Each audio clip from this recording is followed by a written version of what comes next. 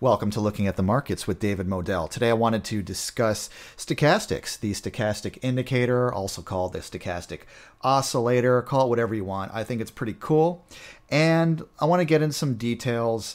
Uh, you know, what is the fast stochastic, the slow stochastic, the full stochastic, if you like that one? Which one should you use? Which one do I like? So let's take a look. All right, I'm using stockcharts.com. Want to give them credit for their charts. And here is Apple, the daily candlestick chart. And you can use the stochastics uh, for not just the daily charts. You can day trade it using the five minute candles or the two or one minute uh, or whatever. You could use the weekly candles, monthly for long term buy and hold, whatever you like. I'm just going to use the daily candlestick chart of Apple for this example. All right, so below it, I put all three stochastic indicators. And on stockcharts.com, it's easy to do. You just go down to indicators and put them on there. The default parameters or settings will be the 14 period, so it looks back at the last 14 candlesticks. So it's 14 and 3.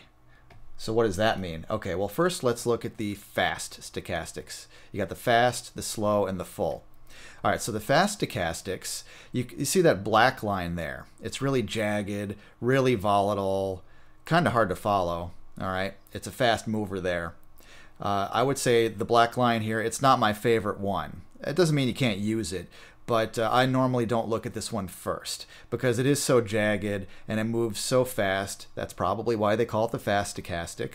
All right, and so the black line is the 14 period look back fast stochastic indicator. And if you're wondering how they calculate that, you don't need to know it, but it is the current close minus the lowest low divided by the highest high minus the lowest low times 100, in case you're curious about where they get the stochastic indicator numbers from.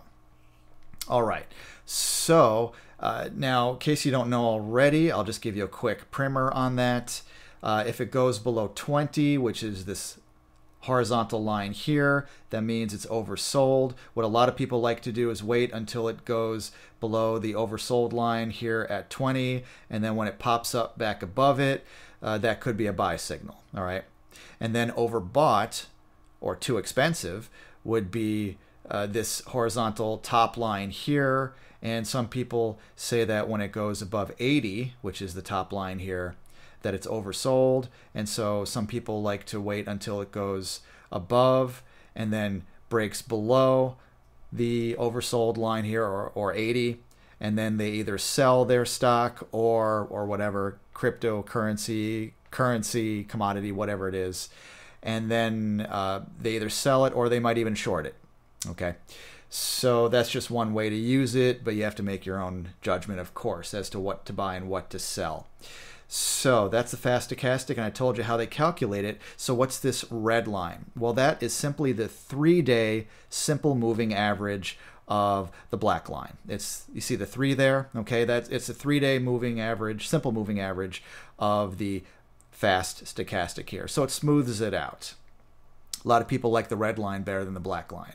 And by the way, since there are two lines here, you can use the crossovers as well for buy and sell signals. Some people think it's, well, some people would say it's bullish, all right, when the uh, faster line, the black line, goes above its moving average, all right? And then some people would say it's bearish when it goes below its moving average, when the black line goes below the red line. That's another interpretation of it. All right, so that's the fast stochastics. It's volatile and it may not be your favorite one, but it certainly can be used. I tend to prefer these slow stochastics. That's just my preference. Uh, it doesn't give you as many signals, all right? It's not going to drop below or above the line, you know, the over sold and overbought lines as often but uh, that way you don't get chopped out with uh, chopped up with commissions you don't get as many false signals and it's just easier to read it's not as jagged not as volatile all right now you notice that the black line here which is the slow stochastic 14 period once again notice that the black line here looks a lot like the red line here Ah, because it's the same thing, okay? They just take the three day moving average of the fast stochastic, the red line, and they put it down here for the black line. Notice they're exactly the same, the red line here and the black line here. So that's why it's the slow stochastic. It's really just the moving average of this one, the fast stochastic. And so it doesn't move as fast. And then they add a three day simple moving average of this line, which is itself the three day moving average of this line. So this red line here is the three day moving average of the three day moving average. That's crazy, right? But it, it kind of makes sense. So what we have here is we can look at the black line, the, the 14 period slow stochastic, which is the three day moving average of the, of the fast stochastic.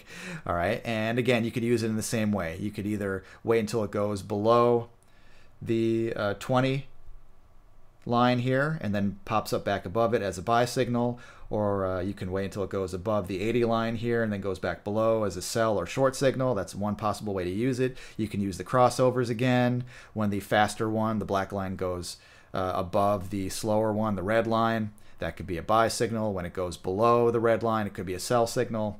Multiple ways to use it. All right. So once again, the red line here, the three-day moving average of the black line here. That's the black line is the slow stochastic. All right. And then finally, the full stochastics. Uh, stockcharts.com has it. Not every platform has it. You notice it looks exactly like the slow stochastics. All it is really is just a more customizable one. So for example, on the fast stochastic, in addition to changing the look back period, the 14, you can also change the moving average. Uh, you can make it the three day, or you could change the three to five day, eight day, one day, two day, whatever. Okay. Same with slow, st- slow stochastics. You can change the look back period from 14 to something else, and you can change the moving average uh, look back period from three to whatever. All right. Uh, for the full stochastics, you can change everything. The the 14 day look back period, you can change that. You could change the three, which is like this three, and you could change the other three, which is like this three. All right. So you can change all the look back periods for the 14 day and then the three simple moving average and then the other three simple moving average. You can change them all. You can customize it. Uh, for me, I, I have a tendency to stick just with the slow ones on the standard settings. That's the easiest way. But I like the fact that with this indicator, no matter what platform you're using, you can change all the parameters, or at least you should be able to. You can change all the settings from the default. All right. So that's a quick a rundown of the fast, slow, and full stochastics. So I hope you found this useful and helpful. If you did, uh, please give this video a thumbs up on YouTube and leave a comment and subscribe to my YouTube channel. Go ahead and do that if you haven't done it already. If you want more help with indicators, trading, investing, putting together a plan, because you need to have a plan. If you don't have a plan for your trading or your, your investing, uh, if you don't have a plan, then you're not going to do well. So you can email me at any time. My email address is davidmoadel at gmail.com. And also, if you happen to see any of my uh, videos that are sponsored or promotional videos, uh, it may it might be for uh, an ICO or a, a, mining company or a penny stock. Uh, go ahead and please click on those, give them a thumbs up, show some support for my channel because that helps to pay for it. All right, thanks a lot. I really appreciate it, and I'll talk to you again soon.